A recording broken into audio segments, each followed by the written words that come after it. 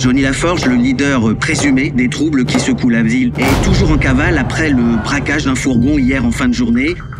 Donc on a un mort et un blessé. T'es parti de la grève générale à la FGR, la fonderie. Je veux savoir où est Johnny. Mais c'est il y a 15 ans, Paul, qu'il fallait l'aider. Il est temps que les gens comprennent qui est Johnny. Qui est-ce? Un assassin. Quelle était la nature de vos liens avec euh, Johnny? Il a décidé qu'on n'allait pas se laisser faire. Vous en parlez au présent, comme s'il était toujours en vie.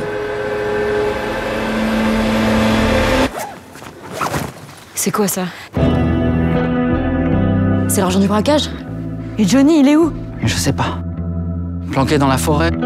Si les flics le trouvent, au moins ils trouveront pas l'argent. C'est bien que Johnny a pas eu la vie facile. Qu'il ait fait le coup tout seul ou non, on n'organise pas un braquage sans déconnexion.